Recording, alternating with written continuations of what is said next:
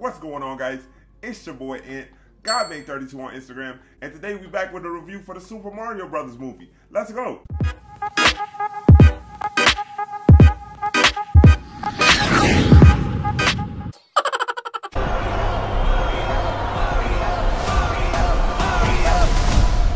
Alright. Let's go. So yeah, guys, I just got done watching the Super Mario Brothers movie, man, and for me, a child that grew up in the 90s, grew up in the 2000s where the real video game boom happened, and throughout my childhood, myself and so many of my friends were attached to the Super Mario Brothers game. Man, this movie was just a delight. And I just feel like if you're a fan of Super Mario Brothers, if you're a fan of all of the games that came out, you're gonna love this movie for one reason or another. But we're gonna get into it. Starting from the voice cast, man, everybody involved in lending their voice to these characters did an amazing job. Some people stood out more than others, but not to say those people did a bad job at all, man. From Chris Pratt to Seth Rogen and everybody in between did an amazing job. But for me, the person that stood above everybody else was Jack Black as Bowser, man. He's ridiculous in this film.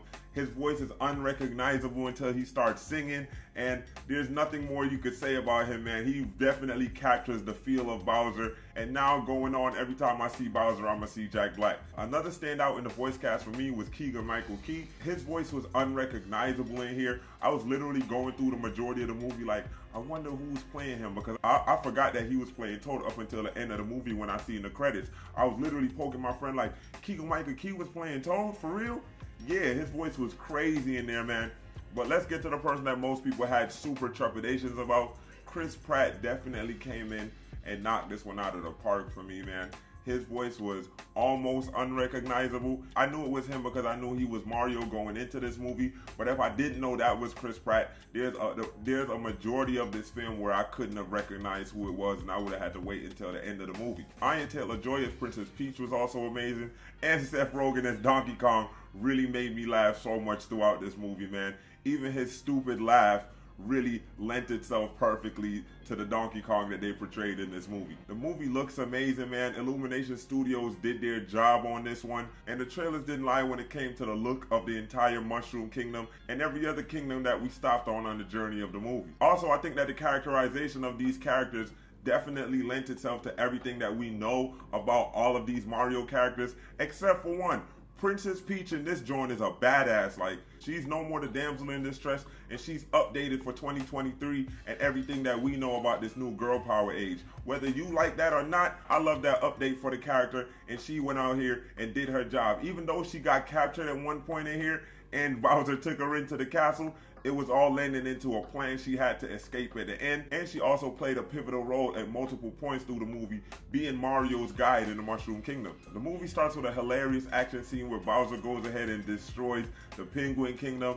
And all I can say is the action scenes just keep ramping up from there. Everything was so great. It lent itself perfectly to the world that we're inhabiting. And a lot of it felt like a Super Smash Bros. movie when it came to the action scenes, man. Everything lent itself perfectly to each other. And I definitely enjoyed it. And there's so many Easter eggs in here. If you're a longtime fan of Mario, at any age for the last 40 years, there's gonna come a point where you're like, oh my God, I remember that even from the original voice of Mario making a cameo within like the first 10 minutes of the film and the original name of Mario and the original game making a cameo right alongside him. The Jumpman logo will be right there and it's up to the keen-eyed viewers to spot it. The soundtrack is amazing. I feel like that's one of the things that really brought me into this movie more than anything else, especially at the start because it starts off with like an orchestra version of the Mario theme. You know, everybody knows the Mario theme.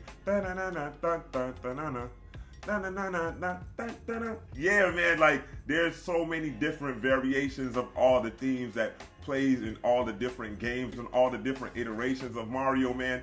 And it again, it lent itself perfectly to this world that we're in. While there were a couple needle drops that definitely took me out of it just a little bit, there was another great orchestrated version of a song to pull me right back into the world and to bring me back to my childhood once more. But yeah, all in all, I think this was a very good movie. It wasn't great, and there was a couple drawbacks in it, but I think it will be overall enjoyable for all ages and anybody who was a fan of Mario and all the little kids who are just getting familiar with Mario right now. Overall, I think it was a very good film and enjoyable for all ages, especially if you're a fan of Mario. And I think there were different things that happened in each scene, in each part of the movie, that would bring in fans of all ages and anybody who has played any of the Mario games, that have played any of the Smash Brothers games, and who have just been a part of Nintendo history. The only negative that I could really say about this movie that really brought it down a little bit in my book and would have definitely elevated it up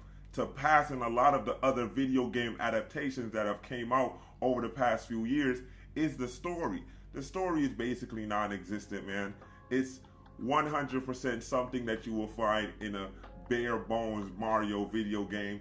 We get to the Mushroom Kingdom and we have to stop Bowser. That's basically it. We get there, we have to learn how to traverse this new area. We have to learn how to fight with these weapons and we got to stop Bowser at the end. That's about it. And I think there was a lot of great setup in the beginning for it to expand and make a better story that they just left short. But again, I think there's so many other things, so many character moments, so many Easter eggs, so many beloved characters in there that when you start watching this movie, you'll get sucked right in. And if not love it, you'll definitely just enjoy yourself at the theater. I had a smile on my face almost the entire movie and I was chuckling throughout. And at times it genuinely brought out a giant laugh out of me that kept me even more engaged and, and was just ready to see what they're going to bring out next. But yeah, guys, did you see the Mario movie? What did you think about it? Have you been a Mario fan? And if so, what's your favorite Mario game? For me, I give this movie a 6.5. It was good, could have been great, but there was no story to be found that would have bumped this movie up two more notches on the scale and made it a great movie, man. But still, if you're a fan of Mario, if you have been invested in the games forever, I think it's going to be definitely enjoyable for you and for the little kids because all of the kids in my theater enjoyed the movie thoroughly. They was laughing throughout. Nobody fell asleep and everybody had a great time at the theater. But yeah, guys, if you like what you see here, please remember to like and subscribe. It helps us way more than you know, and it helps us beat the YouTube algorithm. And if you want to be notified when we upload new videos, go ahead and click that little bell icon. Thank you.